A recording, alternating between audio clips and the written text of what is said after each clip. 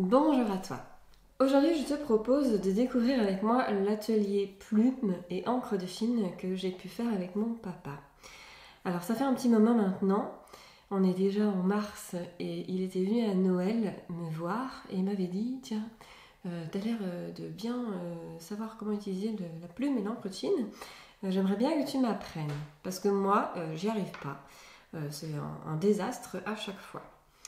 Donc on a pris une petite après-midi toutes les deux, ou même pas, je pense qu'en une heure, je lui ai expliqué tout ce dont il avait besoin de savoir. J'ai fait quelques petites photos reportages que je vais te disséminer au fur et à mesure de mon monologue, parce que je vais donc te résumer euh, les questions qu'il m'a posées. D'abord, il m'a demandé quel papier utiliser.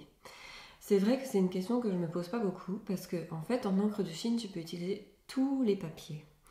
Tu peux utiliser même un papier d'imprimante 90 grammes, ça marchera ça ne va pas gondoler le papier. Tu peux utiliser un papier multitechnique un petit peu plus épais euh, de 150 grammes par mètre carré. Ou tu peux utiliser un papier lisse ou à grains. Donc, ce qui fait que tu peux aussi l'utiliser avec l'aquarelle. Si tu as un papier plus épais type aquarelle, tu peux aussi dessiner à la plume et à l'encre de Chine, sans problème. Les grains vont te faire un petit effet mais ce ne sera pas forcément gênant. Ça va dépendre de ce que tu as envie, toi, de faire et d'avoir comme résultat.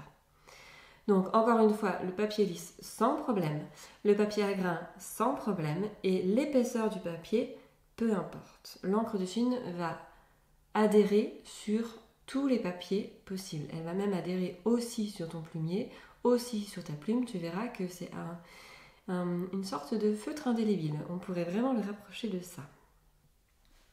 Donc voilà pour la question papier. Ensuite, mon papa est venu avec différentes plumes, de différentes formes, de différentes tailles, avec réservoir ou sans. Et du coup, la première étape c'est de les tester. De savoir si elles avancent, si elles reculent, c'est-à-dire si elles reculent. Quand je dis recul, ça veut dire aller dans le sens contraire de l'écriture. Euh, si elles font des choses plutôt épaisses, plutôt fines, c'est en fait l'écartement de la plume. Quand tu as une plume et que tu appuies dessus, ça va s'écarter en deux pointes. Et c'est ça qui va épaissir ton trait pour un trait plus fort. L'encre va se déposer entre ces deux pointes. Donc ça, c'est à savoir aussi. Et donc, tu vas faire des petits bouts de papier, des petites languettes sur lesquelles tu vas euh, euh, référencer, on va dire, euh, faire un souvenir de ce que peut faire ta plume. Si elle recule pas, tu ne recules pas, tu ne fais pas de boucle à l'envers sur ta petite languette. Si elle ne fait euh, des choses épaisses ou fines, tu vas bien le noter, bien faire en sorte que tu vois que ah oui, cette plume-là, elle fait à la fois très fin et à la fois très épais, ou alors que du très fin, ou alors que du épais, ou que médium, etc. Enfin, tout ça, ces petites languettes vont être similaires pour quelqu'un qui n'est pas euh, qui n'est pas au courant, mais quelqu'un d'initié va voir que ça va permettre de choisir après la plume. Parce que selon le travail que tu vas faire, tu vas vouloir une plume plus ou moins fine, plus ou moins polyvalente, plus ou moins épaisse. Ça, ça vient après.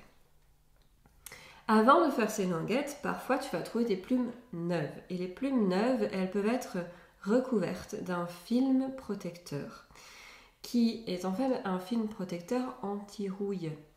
Donc ça veut dire par extension que l'eau et l'encre n'y adhèrent pas. Ça veut dire que ton encre, même si tu as besoin, si, tu veux pardon, la mettre jusqu'en haut de ta plume, elle va tout de suite euh, s'enlever et tu ne vas pas pouvoir ni dessiner ni écrire avec. Alors ce que tu peux faire pour régler ce problème-là, c'est la mettre au-dessus de la flamme,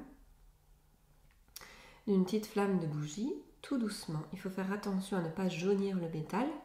Si tu l'as jauni, c'est que tu l'as détrempé et à ce moment-là, les propriétés de souplesse ou de dureté de ta plume se seront envolées. Donc tout doucement, en bas et de l'autre côté, tu vas pouvoir euh, chauffer ce petit après et l'après va se dissoudre, brûler et du coup tu l'auras plus.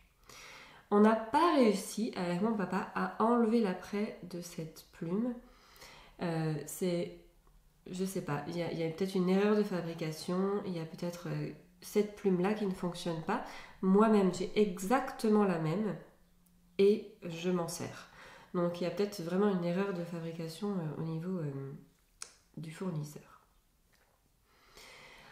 Ensuite, le geste à avoir, donc quand tu vas commencer ton dessin, euh, tu vois, mon papa il a pris un modèle, un sujet, et il a crayonné son dessin. C'est toujours plus judicieux parce qu'à l'encre de Chine, on n'a pas le droit à l'erreur, on ne peut pas la gommer. Donc, tu crayonnes ton dessin tranquillement, tu fais le dessin que tu souhaites comme tu le souhaites. Et puis ensuite, tu vas prendre ta plume et là, l'essentiel, c'est de la remplir jusqu'à son réservoir. Quand je dis réservoir, c'est le trou qu'il y a au milieu.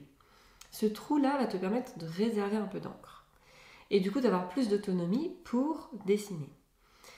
Et donc, tu trempes ta plume dans le pot jusqu'au réservoir, tu la ressors et tu la caresses, tu caresses l'arrière de la plume sur le bord de ton pot. Ça, c'est un geste essentiel. C'est ce geste-là qui va t'éviter les taches, qui va t'éviter les taches sur les doigts, qui va t'éviter les gouttelettes malencontreuses sur le dessin, et du coup, qui va aussi t'éviter de devoir tester sur un brouillon à côté, savoir si vraiment t'as pas une goutte en trop. Donc, tu vas garder toute ton autonomie. Et tout d'un coup, mon papa m'a dit Ah oui, c'est génial avant, je devais tous les 5 cm remettre ma plume dans le pot. Maintenant, je peux faire 10 traits différents avec juste un, trempage dans le pot. Et effectivement, ça change toute la donne. C'est vraiment le truc à savoir de tremper la plume jusqu'au réservoir et de ensuite caresser l'arrière de la plume sur le pot pour enlever cette goutte supplémentaire euh, euh, pas du tout nécessaire euh, qu'on pourrait avoir. Et après, je te montre des photos de mon papa qui est en train de dessiner. Il va arriver à faire tout son dessin en encre de Chine. Et tu le vois sans tache. Voilà pour ce petit reportage, ce petit résumé des questions que mon papa a pu me poser. Donc, les questions d'un débutant, vraiment. Et euh, j'espère que toi, ça t'aura aidé aussi en tant que débutant. Si tu veux aller plus loin, euh, je te mets en description la page d'information vers mon module d'accompagnement, une, formation accompagnée qui s'appelle Encre et aquarelle, où tu apprendre à maîtriser les encres et à maîtriser les aquarelles. J'ai relié ces deux médiums parce qu'ils sont vraiment très similaires et c'est dommage, vraiment dommage, de ne pas faire le pont entre les deux, de ne pas voir les similitudes entre les deux parce que vraiment ça ouvre des portes insoupçonnées. Merci à toi d'avoir regardé cette vidéo. Je te retrouve très très bientôt pour une prochaine vidéo ou un prochain live.